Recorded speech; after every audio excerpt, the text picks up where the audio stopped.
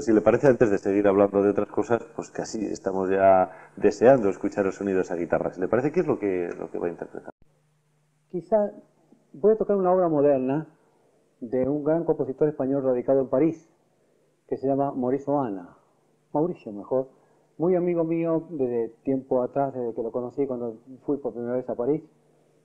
Y una vez, en una tarde en su casa, en su apartamento de París, pasamos trabajando yo le daba las ideas dentro del instrumento y él completó todo el trabajo musical, así que se definió una obra que ya ha sido estrenada en varios lados, que se llama Estelas. Nada, cuando quiera usted, aquí estamos nosotros deseando escuchar.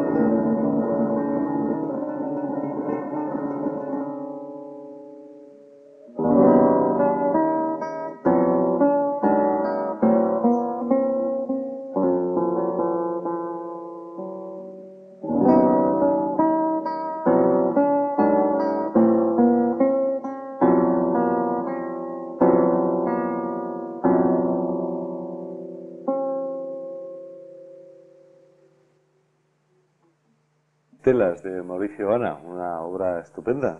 Desde luego, y, bueno, de la interpretación para qué, para qué hablar, ¿no? Si es una obra que, que casi fue concebida con Abel Carrevaro, con nuestro invitado de hoy. Bueno, utilizando todos los recursos que el instrumento puede dar, que es una pequeña orquesta.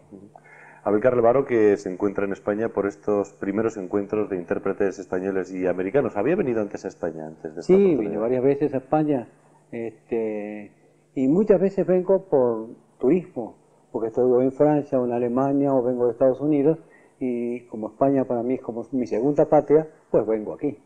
¿Y esa nueva escuela de técnica instrumental que también usted aplicó a, la guitarra, más o menos si se pudiera resumir en, qué concepto? Bueno, es muy difícil resumirlo en pocas palabras. Eh, el maestro Segovia estuvo viviendo 10 años en Montevideo, donde yo resido, donde nací. Él se radicó allá durante nueve años estuve trabajando con él, pero al mismo tiempo yo estaba buscando alguna fórmula que facilitara todo. Y vamos a definirlo más o menos así. El mínimo esfuerzo con el máximo resultado. Eh, la relación es dedo, manos, brazos. Es decir, utilizar todo el sistema motor, que es dedo, mano y brazo, no solamente los dedos, sino la inteligencia de los músculos de la mano. Por supuesto que todo eso se hace a través de un tiempo, un hábito positivo, que es, eh, al poco tiempo usted lo puede utilizar. Y todo eso usted lo ha, lo ha vertido Lo he editado. dentro de la publicación Escuela de la Guitarra. Sí, he tenido premios. Uno de ellos fue el Gran Premio de la Panamericano en, en Washington. Y bueno, y es así. Y hay muchos discípulos en todo el mundo que están trabajando con mi escuela. Pero ya no solamente con su escuela, sino también con sus obras, que es una manera estupenda de trabajar la música. Bueno. Tiene un sinfín de obras, los preludios Tengo americanos. preludios, tengo estudios homenaje a Vila Lobos, con el cual estudié. Este, tengo tres conciertos para guitarra y orquesta, que espero el año que viene poder estrenar uno de ellos aquí en Madrid. Mm, Nosotros también lo esperamos. Pues ya que estamos hablando de su música, si puede Pero, usted pero antes quisiera, porque me han pedido una persona, Ah, eh, antes de venir, quizás podría introducir una obra de Eduardo Fabini, ah, pues muy bien, ¿Eh? encantado. una obra de Eduardo Fabini que se llama El Poncho.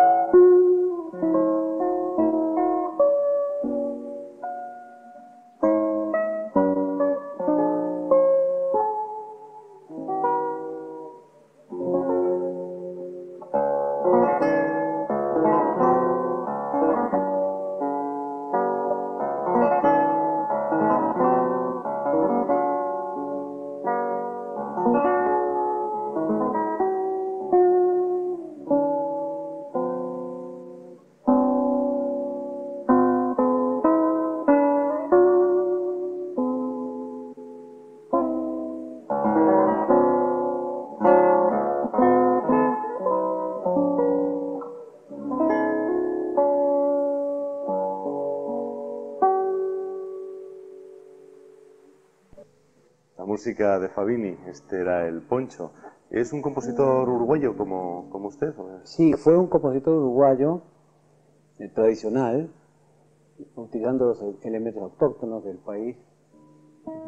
¿En su repertorio siempre incluye música iberoamericana o también está eh, la música, pues las transcripciones de las partitas de la música universal de todos los autores, este, incluyendo música española, música americana y de las épocas, por supuesto. Y por supuesto su música. ¿Cómo podría, es muy difícil definirlo, pero si usted tuviera que definir algo, de alguna manera, su música que no fuera tocándola, que es la mejor manera de definirlo, sin lugar a dudas, ¿cómo, cómo, cómo Bueno, yo lo definiría como un, mi segundo traje, mi segunda piel. Es algo que me debe corresponder a mí mismo, es decir, un trabajo que yo tengo que hacer con mis propios medios y expongo lo que yo verdaderamente pienso que es así la música, sea mala o sea buena, pero de todos modos es mi identidad. En sus clases magistrales, las que está impartiendo en este primer encuentro de intérpretes españoles y americanos, eh, ¿trata sus obras o trata también el repertorio internacional de guitarra? Trato todas las obras. Algunos alumnos o profesores vienen con obras mías y yo, por supuesto, les indico detalles, que hay obras muy ya conocidas, por supuesto que me las traen. Si usted... Eh, Con mucho gusto, sí. ¿Qué, nos bueno, mm, voy a tocar entonces... Tengo que afinar un poquito porque la sexta cuadra fue bajada del rey. Voy a tocar un preludio número 3 de los preludios americanos que yo he escrito, que se llama Campo.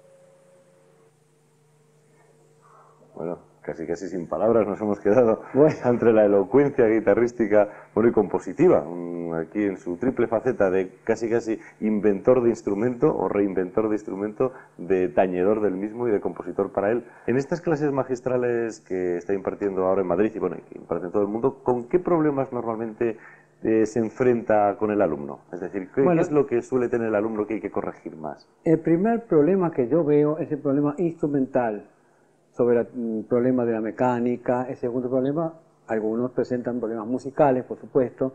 En general, la masa de guitarristas que estudia, ahí es un nivel muy bueno. Yo me quedo muy conforme con el nivel de los guitarristas de España, muy, muy conforme. En este curso que he hecho he tenido mucha gente de de Taiwán, de Japón, de China, de, España, por supuesto, de otros lados. Así que estoy sumamente conforme con todo. Esperemos entonces que, vuelva el año que viene. Así lo espero también. Y, podemos escuchar esos, esos conciertos de guitarra, al menos. Me alegraría mucho. Muchísimas gracias por, por sus notas, por sus obras y por sus palabras. Gracias a usted.